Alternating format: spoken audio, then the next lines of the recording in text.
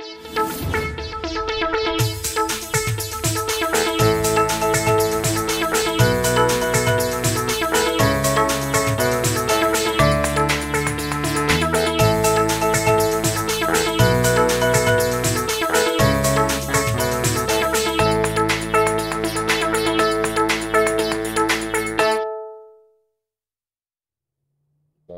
Berlin und herzlich willkommen zu einer neuen Folge ETS 2 hier auf meinem Kanal. Und äh, ja, wir haben gestern in der Folge, am Ende der Folge, hier auf diesem Parkplatz angehalten.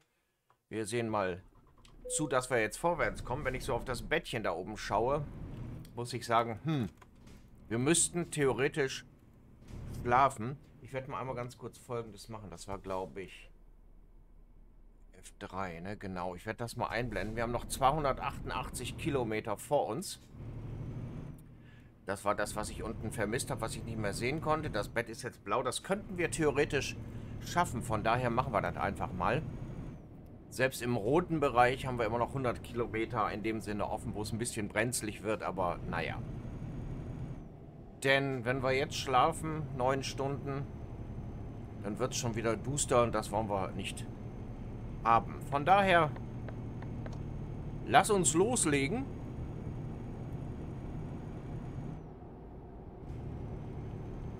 Ja, vielen Dank an Michael wieder für die Hinweise zum Mod und vor allen Dingen zu den Logs. Interessant, dass es zum neuesten Update gar keine Informationen gibt. Von daher gehe ich eben, was ich schon gesagt hatte, davon aus, dass es einfach nur wieder ein paar Verschönerungen, Verbesserungen, Bugfixes unter der Haube gewesen sind, also nicht weiter erwähnenswert. Sehr gespannt bin ich natürlich auf die 1.41 Beta.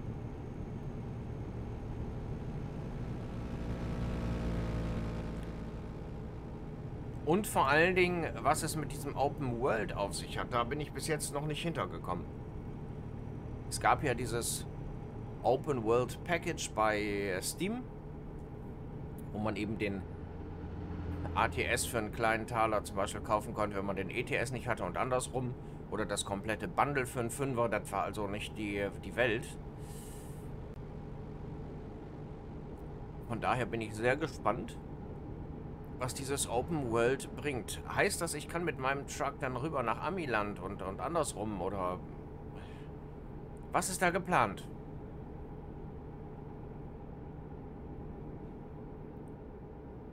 Wir wissen es noch nicht.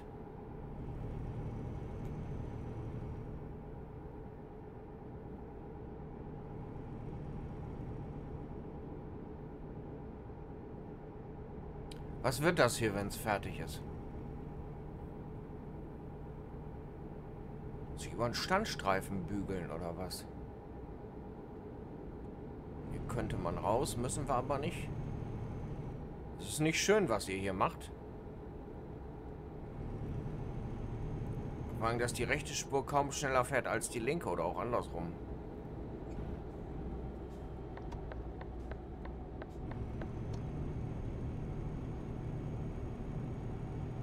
Muss man nicht verstehen, warum die rechts so kriechen.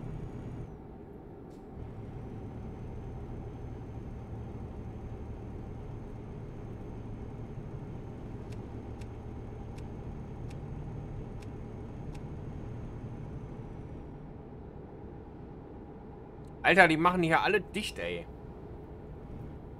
Geh mal Gummi da vorne.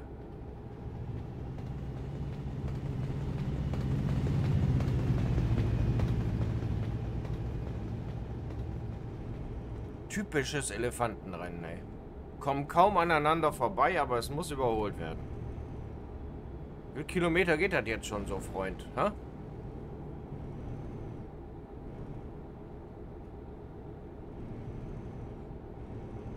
Sieh zu, dass du nach rechts kommst. Hurtig.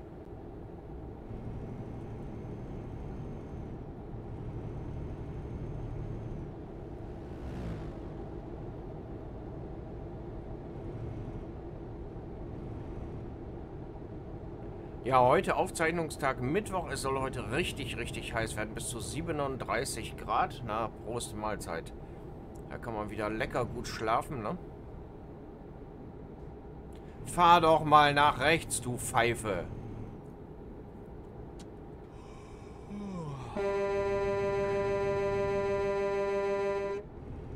Und ich immer erst wecken muss.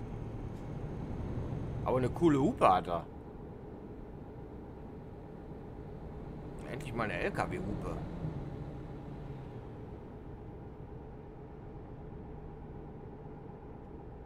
Zwar Nötigung, aber was der gemacht hat auch, du.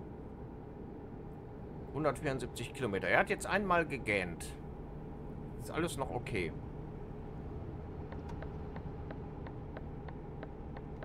Ach, bist du denn auch mal da, ja?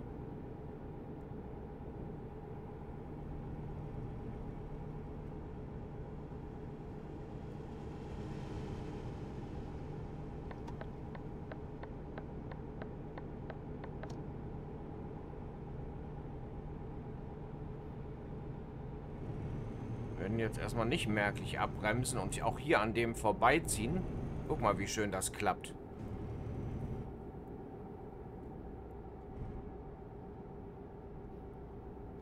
Wir sind nämlich so ein bisschen unter Zeitdruck. Leute, nun fahrt doch mal, Mensch. Immer dieses Geschleiche.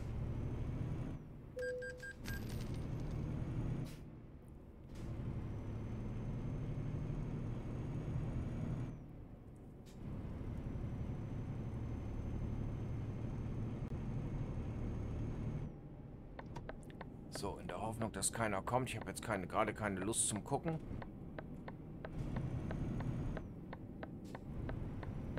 Und das im realen Verkehr auch mal. Ich habe jetzt keine Lust zum Gucken. Ich fahre mal einfach. Aber da gibt es auch solche Kandidaten, die das machen. Definitiv.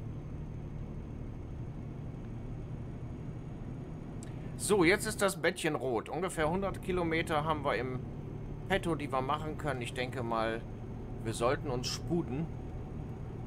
Und dann dürfte das auch noch glücken, was das Dösen und so weiter angeht. Und wir werden Bußgelder bekommen von wegen Lenkzeitüberschreitung. Also das ist so sicher wieder Damen in der Kirche. Da gehe ich ganz stark von aus.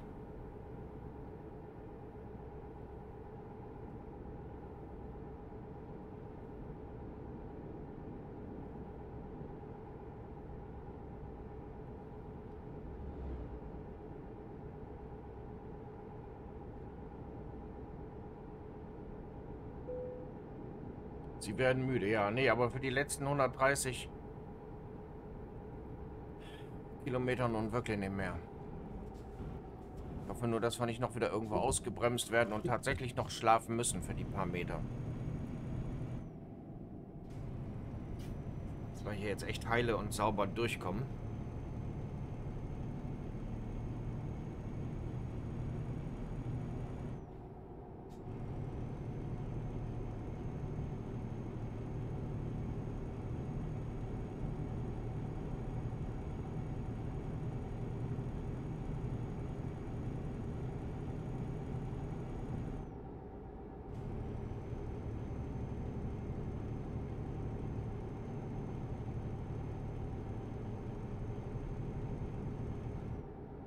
Ja.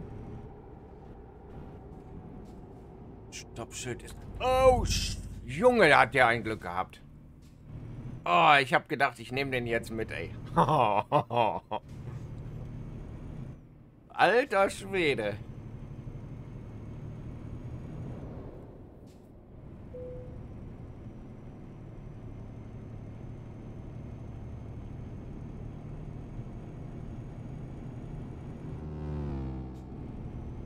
Der hatte echt mega Glück. Wow.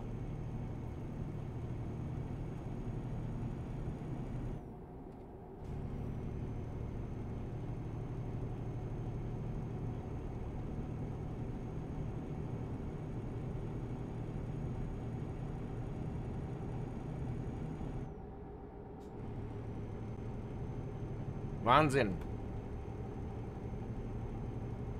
Ja, aber auch solche Situationen gibt es im Realen, ne? Soll man nicht unterschätzen.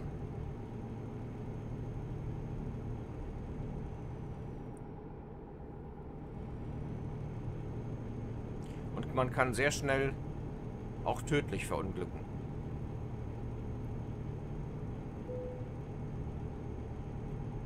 Ich weiß noch, das ist schon ewig her. Das war eine Freundin oder Bekannte von meinem Bruder. Die war muss ich lügen. Entweder mit dem Mofa oder mit dem, äh, mit dem Moped unterwegs. Jedenfalls nicht allzu schnell. Wir haben uns ja damals an die Richtlinien gehalten. Die ist irgendwie weggerutscht und unter einer Leitplanke durchgeschlittert mit ihrem Moped und dabei wurde ihr Kopf abgerissen. So schnell kann es gehen und da hilft dir dann auch kein Helm. Das ist dann echt übel. Scheiße.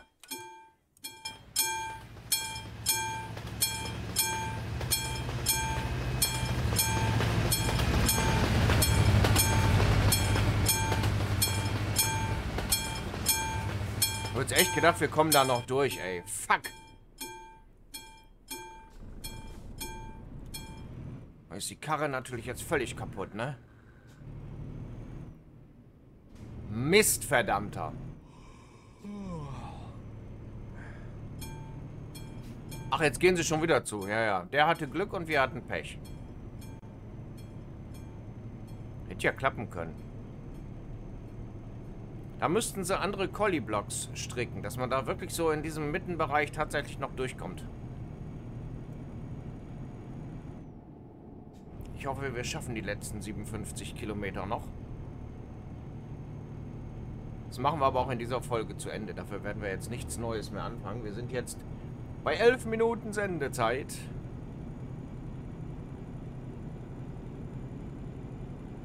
Ja, so dicht liegen Glück und Unglück beieinander, ne?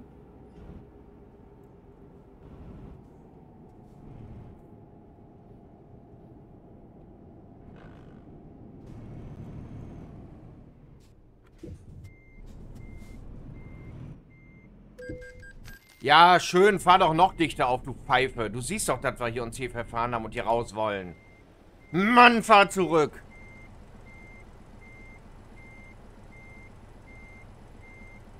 Der fährt nicht.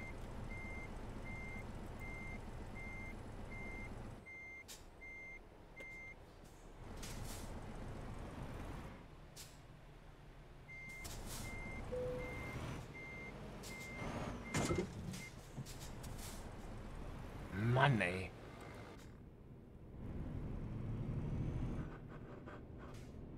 Vollpfosten. Danke. Kostet alle Zeit.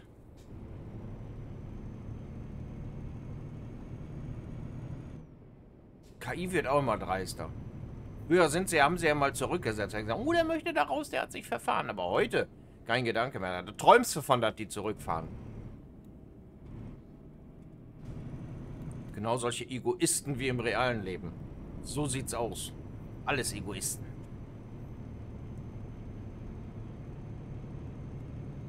Ist aber teilweise wirklich so, wenn man sich im Straßenverkehr umschaut. Es wird ja auch immer so gesagt, oh, die bösen Radfahrer, Rollerfahrer. Ja, manche sind wirklich schlimm. Man kann aber auch vorausschauend fahren und behindert dann in dem Moment niemanden. Es ist einfach so. Och, mich hat auch schon mal einer angeguckt, dass ich, weil ich mit meinem E-Scooter auf der Straße gefahren bin. Aber wenn kein Radweg vorhanden ist oder kein vernünftiger, wo du quasi Hämorrhoiden kriegst, wenn du darüber fährst, da fahre ich dann auf der Straße. Sorry. Außerdem habe ich da ein Nummernschild dran und dann darf ich das.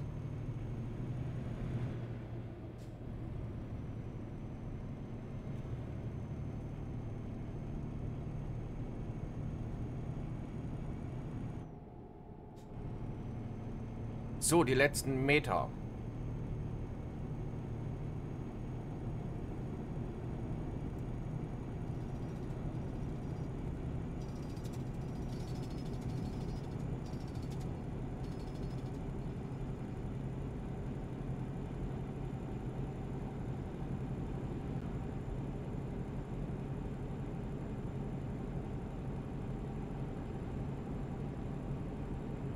Man merkt jetzt tatsächlich, der... Oh, Entschuldigung, das Fahrzeug ist äh, beschädigt. Du hast richtig hier ein unruhiges äh, Fahren, auch in der Lenkung und so weiter. Also es ist... Man merkt es am Force Feedback tatsächlich. Unglaublich.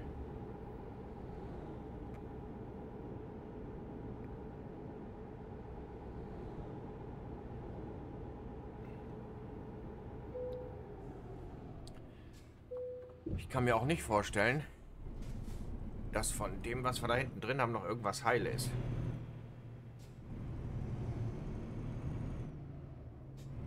Genau, bremsen mal. Wir sind auch gleich da. Ja, aber tatsächlich noch perfekt in der Zeit. Ich hätte gedacht, wir würden echt maßlos überziehen, aber... Wird mir auch gleich das Einparken sparen. Tatsächlich. Ich habe keinen Unfall verursacht. Was fahren? Mann, mach die Scheiße da weg, dass ich weiß, wo ich hin muss. Mal ganz ehrlich, wenn die auf dem Innenring fahren und wollen nach außen, sind sie selber schuld, wenn es nicht funktioniert. Dann sollen sie auch gleich nach außen rüberfahren. Und nicht einfach von innen rüberziehen nach, ne? Ich verstehe sowieso diese doppelten Kreisel nicht. In Berlin gibt es die ja auch. Wenn du da in der Mitte drin bist, dann bist du doch verraten und verkauft, oder?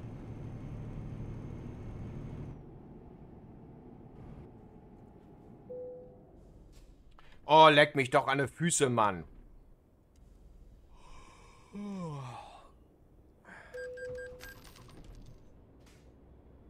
Los jetzt, fahr. Alter. Letzten zwei Meter wirst du ja wohl noch schaffen. Macht mich aggressiv, so warst du, ganz ehrlich. Ich werde mir auch hier das Einparken sparen. Die Scheiße hier abgeben und dann ist... Ah ja, okay. Das, nun fahr doch, du Gurke! Also ich muss ganz ehrlich sagen, DAF, ja, auch mal wieder genau wie Iveco bei, bei Scania abgekupfert. Und Kraft hat die Möhre überhaupt nicht. So. Wo ist denn hier eine Garage überhaupt? Beziehungsweise eine Werkstatt? Haben wir keine oder was? Hier irgendwo. Gucken, ob wir da gleich noch hinkommen. Das mache ich dann aber offline. Ich bedanke mich bei euch erstmal fürs Zuschauen. Freue mich, wenn ihr das nächste Mal wieder mit dabei seid. Und wünsche euch noch einen angenehmen Tag und genießt die Sonne draußen. Bis dahin. Ciao, ciao.